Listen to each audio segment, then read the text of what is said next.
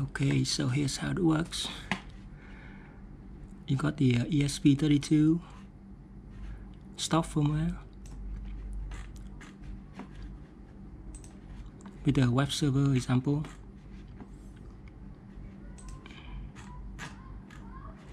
You can get a stream up here, you know,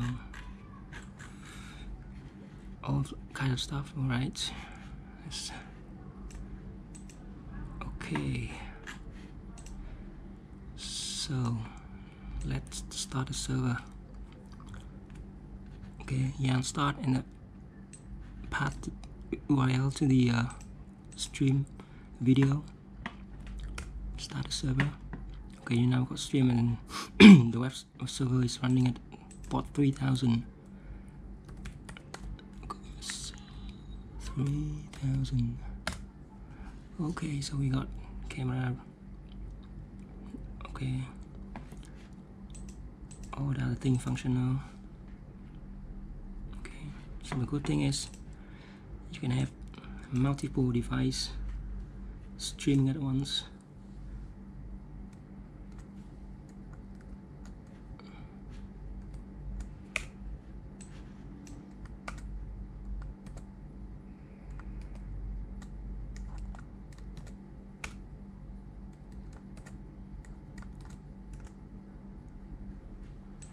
okay. So yeah I got simulation of four device connecting at once so it's still pretty fast. Right and I'm gonna simulate one that is slow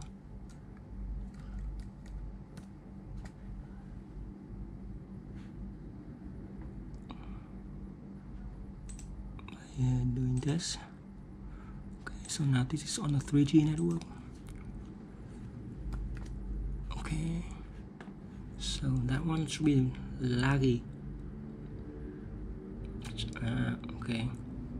And all the other cameras still fast. Okay that one is got frame dropped. You can see here see? The client network is so slow. Detects it alright turn off the simulation and fast again. All right and then this still have the uh, ability to change settings on the fly.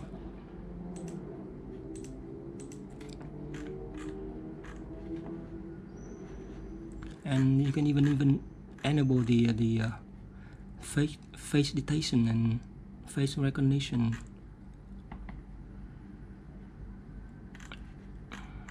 and all kind of stuff. Brightness. Contrast. Okay, you can tweak this. Okay, see how fast it is.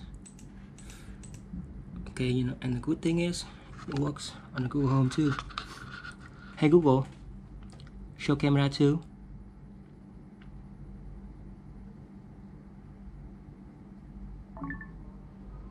See. And, and this firmware has a uh, additional HD resolution and a 69 ratio of 720 resolution. So see on the the, the, the, the Google Hub